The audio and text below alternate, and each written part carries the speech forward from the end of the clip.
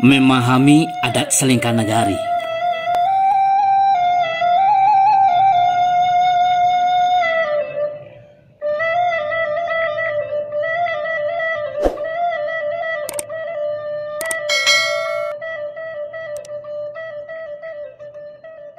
Assalamualaikum warahmatullahi wabarakatuh. Setelah disahkan oleh Dewan Perwakilan Rakyat Republik Indonesia melalui sidang paripurna 30 Juni 2022, adat selingkah nagari telah diakui menjadi hukum positif negara.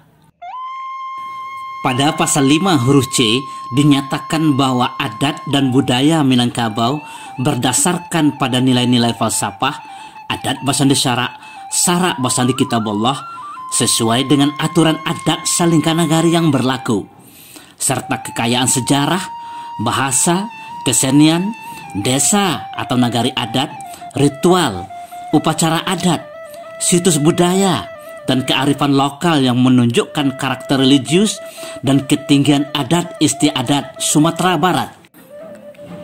Apakah ini adalah sebuah kemajuan adat Minangkabau atau malah kemunduran yang menjadi pemicu bencana adat Minangkabau. Dari satu sisi, kita patut bersyukur adanya pengakuan negara atas kekhasan Minangkabau dalam hal tatanan sosialnya. Namun di sisi lain, ini adalah gerbang pertikaian dan persengketaan berkelanjutan dalam masyarakat Minangkabau yang tentunya akan memperlemah perjuangan Minangkabau untuk memajukan kebudayaan dan peradaban umat manusia. Perlu ditegaskan bahwa adat Minangkabau itu bukanlah adat selingkah nagari. Bukan.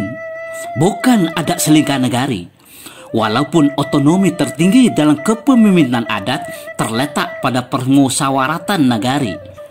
Kemanakan berajo ke mama, mama berajo ke pengulu, pengulu berajo ke mufakat, mufakat berajo ke nanbana. Nanbana tagak sendirinya. Petiti adat ini menegaskan bahwa kepemimpinan adat tertinggi di Minangkabau adalah kepemimpinan kolektif penghulu kaum yang menghasilkan mufakat dari proses musyawarah. Tidak ada pemungkatan suara atau voting. Tidak ada kalah menang. Karena mufakat itu sendiri mengikuti garis kebenaran yang telah ditetapkan oleh Yang Maha Benar dengan pertimbangan alua je patui patui je mungkin.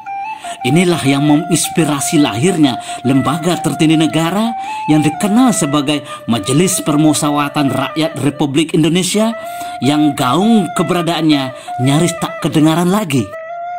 Bagi Minangkabau, Majelis Permusyawaratan tertinggi memang berada pada tingkat negari setelah berjanjang naik dari rumah tanggo, parik, kaum, dan suku. Tidak ada lagi di atas itu sehingga otonomi tertinggi berada pada tingkat nagari. Inilah yang menginspirasi lahirnya sistem pemerintahan otonomi daerah. Namun, adat yang berlaku di nagari bukan hanya adat salingkah nagari. Bahkan adat selingkah nagari harus tunduk dan selaras dengan adat Minangkabau yang disebut dengan adat Sabatang Panjang adat yang berlaku untuk seluruh masyarakat Minangkabau, baik di Luha maupun di rantau. Itulah adat Basandi Syarak, Sarak Basandi Kitabullah. Adat Salingkah Nagari hanya mengatur persoalan adat istiadat yang harus tunduk dan selaras dengan adat nan diadatkan dan adat nan teradatkan yang semuanya harus tunduk dan selaras dengan adat nan sabana adat. Hukum dari ketentuan Allah Subhanahu wa taala. Dengan demikian, adat salingkah nagari atau adat istiadat setiap negari di Minangkabau harus tunduk dan selaras dengan adat dan sabana adat.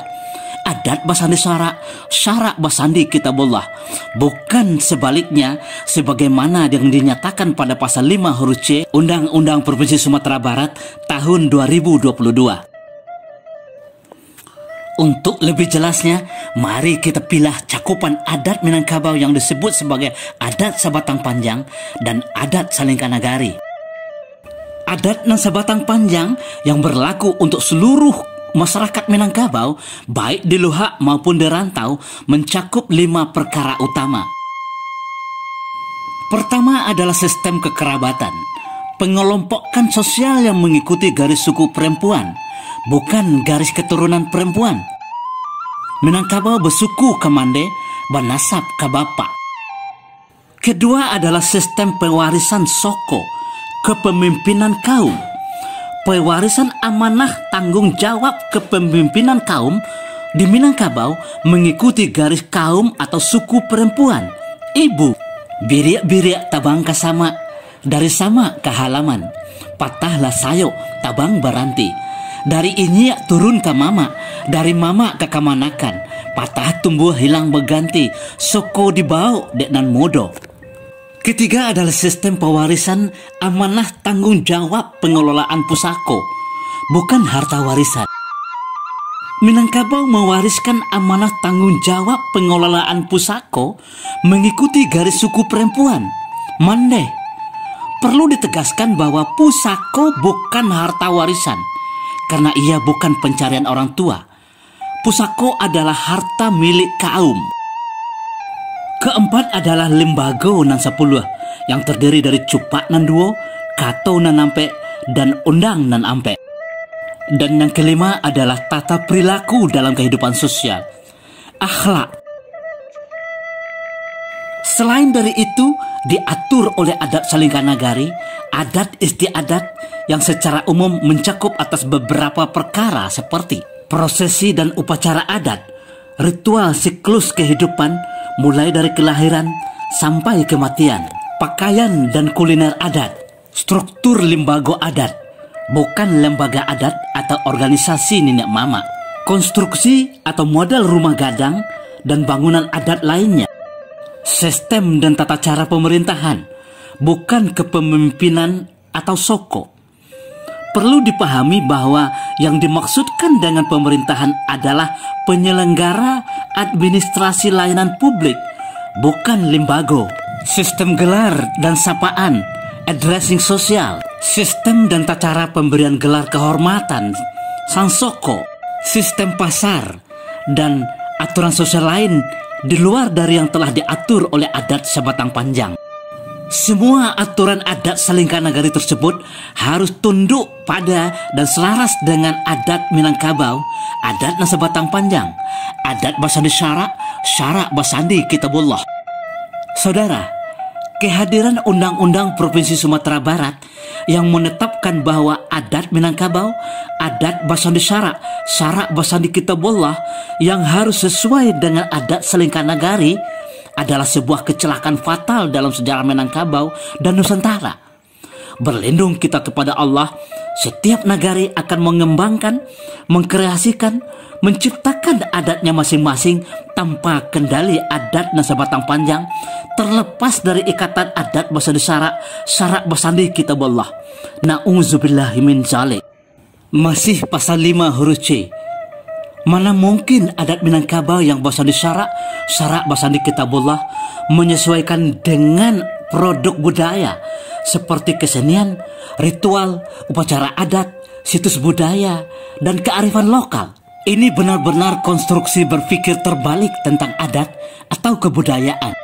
Serendah apa pun kemampuan logika seseorang, ia tidak akan mampu menerima logika bahwa cetakan harus menyesuaikan diri dengan kue yang dibuat, yang diproduksi. Begitu pula halnya dengan kekayaan sejarah dan bahasa. Mana mungkin adat harus menyesuaikan diri dengan sejarah dan bahasa?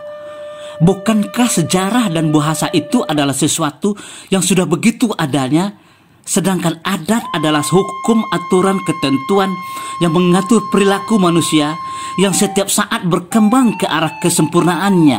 Adat atau kebudayaan, sejarah dan bahasa berkembang paralel tanpa saling menyesuaikan diri. Terakhir, anak kalimat penutup pasal 5 huruf C mengungkapkan bahwa itu semua yang tertera pada induk kalimat tersebut menunjukkan karakter religius dan ketinggian adat masyarakat Sumatera Barat.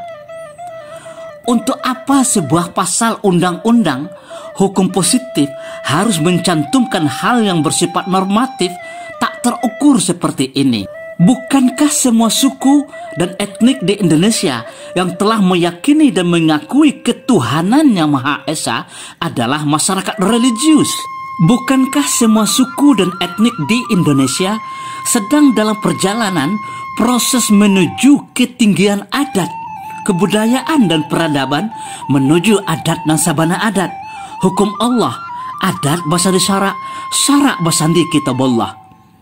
Semoga Allah menjauhkan azabnya dari kita semua yang selalu menyimpang dari hukum dan ketentuannya.